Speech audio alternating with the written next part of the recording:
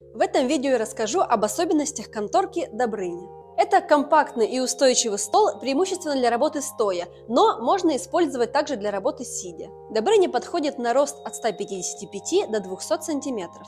Как определить высоту конторки?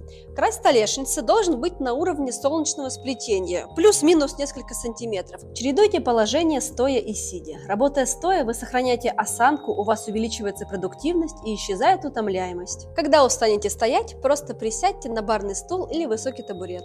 Сейчас я покажу, как отрегулировать Добрыню под мой рост. Определите высоту конторки и наклон столешницы при сборке, поскольку менять их сложно. Это наиболее правильное положение, по мнению врачей, и наиболее удобные для работы.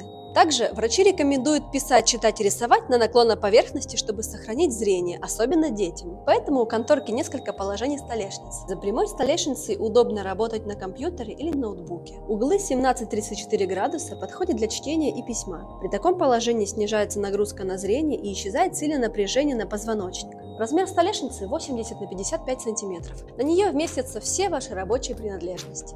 Комплект входит верхняя полка шириной 25 см. Поставьте на нее монитор, полка выдержит вес до 10 кг. На столешницу разместите клавиатуру и мышку. В комплект входят два фиксатора на столешницу, которые держат бумагу и тетради. Сверху можно поставить учебник или положить смартфон. Если вы хотите стол с более быстрой регулировкой столешницы, то выбирайте Хронос или Хронос XL. Конторка Добрыня – максимально простой и устойчивый стол для работы стоя и сидя.